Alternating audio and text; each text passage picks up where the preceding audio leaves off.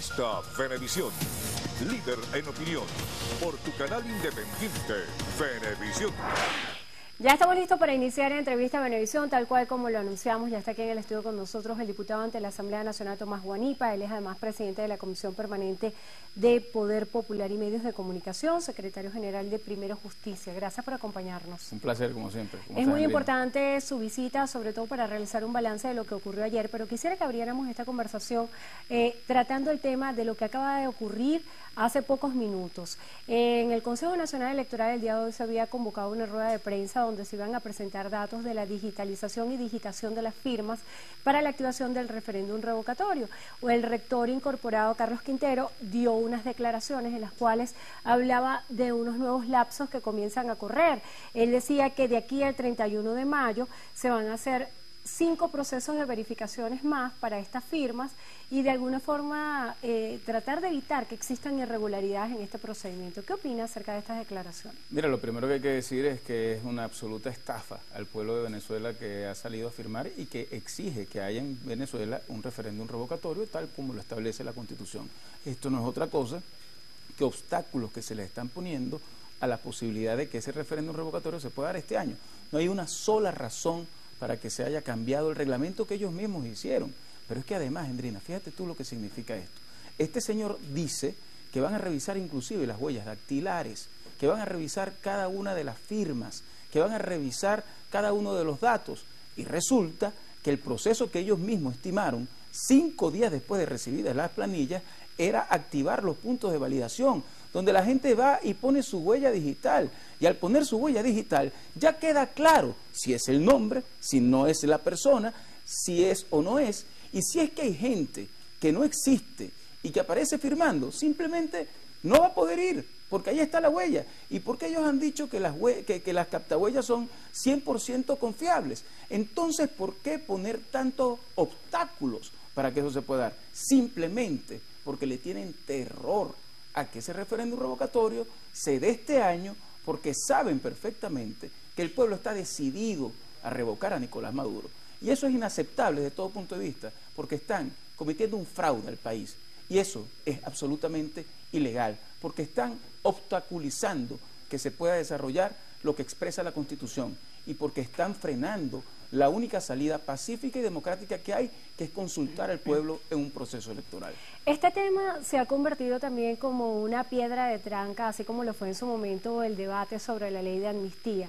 ¿Qué hace falta entonces para que se active el referéndum revocatorio cuando, por ejemplo, eh, voceros como el alcalde Jorge Rodríguez, en representación del Partido Socialista Unido de Venezuela, ha dicho con propiedad que el referéndum no se va a llevar a cabo este año? Así también lo ha dicho el presidente de la República, Nicolás Maduro. Ayer escuchamos al vicepresidente decir esto. ¿Qué pueden esperar los venezolanos? Mira, es una vergüenza que quienes quieren ser revocados, que quienes están sometidos a la al escrutinio del pueblo en un revocatorio, le digan a ese país que quiere revocarlo, que hoy es casi el 80%, que ese revocatorio no va este año. ¿Qué buscan? Lo que buscan simplemente es desanimar a la gente, que no sigamos luchando en la calle. Ayer dimos una gran demostración, mucha más gente salió a la calle y lo hicimos en paz. Luego ellos infiltraron a algunas personas para generar hechos de violencia. Algunos de ellos los detectamos y los sacamos de la marcha. Pudieron ver cómo nosotros fuimos a esa marcha para hablarle además a la Policía Nacional, que te quiero contar algo, Andrina, a ti y a todos los que nos escuchan. Ellos asentían cuando Enrique Capriles y Henry Ramos Alú le decían que estábamos luchando por sus derechos. Ellos nos hacían señas de aprobación a lo que nosotros estábamos haciendo. Y por respeto a ellos, no confrontamos con ellos y esperamos a que llegaran las autoridades del Consejo Nacional Electoral, el secretario y el rector este, Rondón, ahí le recibí, y recibieron nuestro documento y nos retiramos en paz. 25 minutos después, grupos de infiltrados, que ahora seguramente saldrán diciendo que militan en partidos, etcétera, etcétera, pues generaron algunos hechos de violencia. Pero nuestra marcha fue en paz y fue pacífica. Y fue una demostración de lo que somos capaces de hacer, todo el pueblo unido. Ahí habían puros edificios de la Misión Vivienda. Marchamos en Libertador. La gente desde los edificios de Misión Vivienda nos saludaba. Y le decimos a ese alcalde que yo lo siento un poco perturbado por el desastre que ha hecho en Caracas y porque además perdió las elecciones claramente el 6 de diciembre, que ese referéndum va a ser este año y que nosotros vamos a lograr imponer la ruta pacífica y democrática frente a la violencia y a la y al autoritarismo que este gobierno nos quiere imponer. Diputado, acerca de los hechos de violencia que hubo específicamente contra una Policía Nacional Bolivariana, ¿cuál es la respuesta que ha habido desde el seno de la Mesa de la Unidad? Mira, absolutamente lamentable, vergonzoso, la relación que nosotros ayer tuvimos con la Policía Nacional Bolivariana fue absolutamente respetuosa, la lideró Enrique Capriles junto a Henry Ramos Alup, todos la unidad estábamos allí, todos ellos fueron testigos que actuamos con absoluto respeto, que luego nos retiramos y lo que ocurrió luego con algunos infiltrados es la siembra de violencia de este gobierno y por eso en este momento la diputada Dinora Figueras está haciendo una denuncia en la Fiscalía para que sean investigados estos cuerpos infiltrados del gobierno que quieren generar violencia en las marchas pacíficas que nosotros hacemos. Pero que en todo caso demuestra que este gobierno está jugando a la confrontación, a la violencia y que le quiere cerrar la válvula de escape a esta olla de presión que tiene Venezuela, que no es otro que el referéndum revocatorio. Le tienen mucho miedo a lo que está pasando y por eso Nicolás Maduro se está convirtiendo hoy en un presidente autoritario, dictatorial, sin ningún tipo de respaldo popular, que está enfrentando a los venezolanos y a la Constitución por querer permanecer en el poder a costa del dolor de los venezolanos. Ahora que menciona la Fiscalía, el alcalde Jorge Rodríguez el día de ayer también decía que iba a acudir a la Fiscalía a formalizar una denuncia en contra del gobernador Enrique Capriles y el presidente del Parlamento, Henry Ramos Ayú, por promover actos de violencia en la marcha. ¿Esto no eh, despierta un poco el fantasma de lo que pudo ocurrir con el líder de la oposición, Leopoldo López? Mira, no, no solamente el presidente de la Asamblea Nacional, Enrique Capriles, me mencionó a mí, mencionó a otros diputados, mencionó a Torrealba.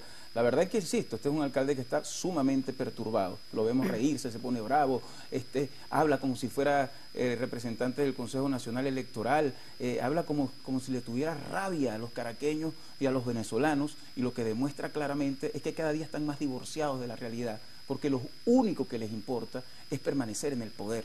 Ese decreto de estado de excepción, esas denuncias que hacen de forma irresponsable, son para amedrentar, son para perseguir, claro que son para tratar de reprimir, pero lo que ayer se tuvieron que haber dado cuenta es que hay un pueblo que está dispuesto a luchar en la calle para que nuestra constitución se cumpla y para que haya una salida democrática. Es insólito que ellos quieran cerrarnos la salida democrática en un momento en el cual el país necesita una válvula de escape como lo decía el secretario general de la Organización de Estados Americanos y como lo decía también Pepe Mujica, amigo de Nicolás Maduro, que por cierto lo llegó a llamar loco. Anteayer, Nicolás Maduro hablaba. Dijo que estaba loco como una cabra, citando textualmente. Y anteayer en una cadena nacional, Maduro decía que Pepe Mujica era su gran amigo. El secretario general de la Organización de Estados Americanos recibió el voto de Venezuela para ser secretario general, es decir, el voto de Maduro.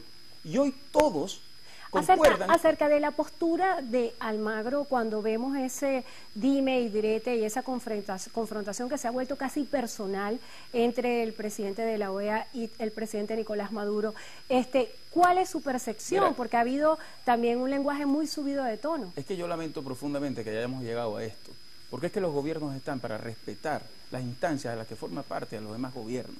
Entonces tú no puedes permanentemente estar atacando con nombre y apellido a otras personas que representan organizaciones tan importantes como la OEA. Entonces esa respuesta que parece muy subida de tono, que no es la costumbre de lo que uno ve en la diplomacia, tiene que ver también con la indignación de quien es permanentemente ofendido por el presidente de la República. Este es un presidente que ha llegado a niveles muy bajos, que utiliza cadenas presidenciales para agredir personalmente a, muchas, a muchos dirigentes, a presidentes de otros países. Es una vergüenza. Es una pena muy grande lo que nosotros estamos pasando en un medio de crisis económica tan grande, pero, además que es por culpa de él. Y por eso tenemos que revocarlo, porque tenemos que abrir las puertas al futuro de Venezuela. Guanipa, la figura de la mediación ha sido también muy relevante y, tal, vez enfatizada como una figura necesaria. El representante del Vaticano dijo que no iba a venir a Venezuela, no, se ha, no ha habido un pronunciamiento oficial para dar detalles acerca de las razones, sin embargo veíamos como el Papa Francisco eh, ponía un acento particular particular en la situación del país en sus discursos. Eh, la figura de los expresidentes eh, José Luis Rodríguez Zapatero y Martín Torrijos y la reunión que sostuvieron el día de hoy. ¿Qué se trató en esa reunión? Bueno, hubo una reunión que acaba de culminar con la mesa de la unidad del presidente Zapatero. Este, él anunció que iba a declarar desde la embajada. A la una de la tarde, Exactamente, una nosotros vamos, seguimos reunidos ahorita en la Asamblea Nacional, este, porque tenemos sesión al mismo tiempo evaluando la conversación. Nosotros nunca nos vamos a negar al diálogo. Es una vergüenza que el canciller del Vaticano no venga. Y yo les quiero contar a los venezolanos por qué no vienen. Porque el gobierno nacional no los quiere recibir.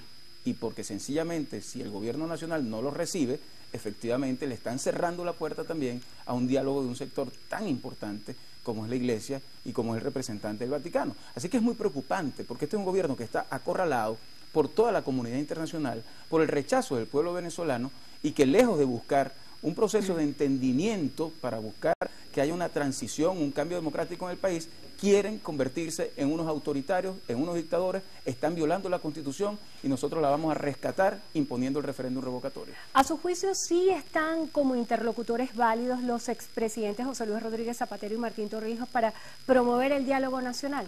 Todo aquel que quiera ayudar a que exista un diálogo real en Venezuela, nosotros estamos dispuestos porque nosotros no queremos desconocer que existe otro lado. Quienes desconocen que existe una gran mayoría que están en contra de ellos es el gobierno nacional y quieren gobernar con una minoría a fuerza de dictadura, pero además de mucha represión. Yo hoy recibí a madres de niños, de niños que han sido asesinados en la cota 905. Yo estoy de acuerdo que hay que enfrentar todas las mafias que existen en Venezuela y todos los grupos delictivos que utilizan armas que deberían estar en el Estado, en manos del Estado y que las usan para matar gente. Yo creo que hay que perseguirlos, apresarlos y enfrentarlos.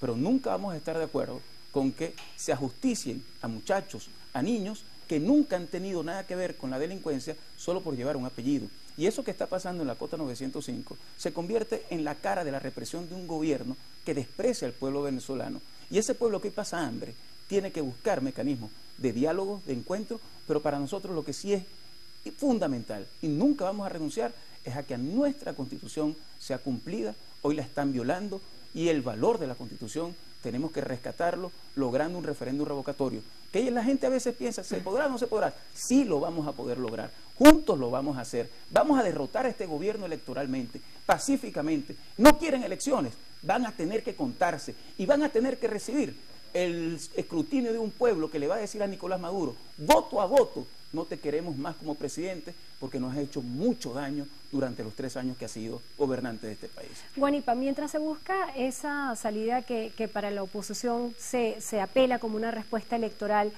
¿Qué tiene preparada la Asamblea Nacional para dar respuestas contundentes al tema del el desabastecimiento de comida, de medicamentos, la inseguridad?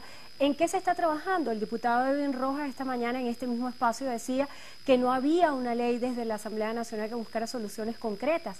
¿Qué se está haciendo en concreto? Como no, le contamos a Edwin Rojas que debería estar más pendiente de lo que pasa en la Asamblea, lo que hemos hecho ahí. Una ley para darle un bono de alimentación y medicina a los pensionados y jubilados que todavía el gobierno no ha terminado de aprobar. Una ley para darle propiedad a beneficiarios de la misión vivienda que les hicieron, por cierto, concentrarse para que celebraran que no les vamos a dar, eh, que no van a tener la titularidad de sus viviendas. Y por eso ayer tanta gente de la Misión Vivienda nos saludaba desde su casa. Hemos promovido una ley de producción nacional para dejar de comprar afuera lo que estamos produciendo, lo que, está, lo que deberíamos producir aquí y para rescatar las empresas que estando en manos del Estado no están produciendo los alimentos para los venezolanos y ponerlas a producir, porque lo que hoy pasa con eso es una vergüenza. Hoy mismo, mientras estamos hablando, se está eh, este, discutiendo una ley orgánica contra la delincuencia organizada para empezar a enfrentar las mafias que existen en Venezuela.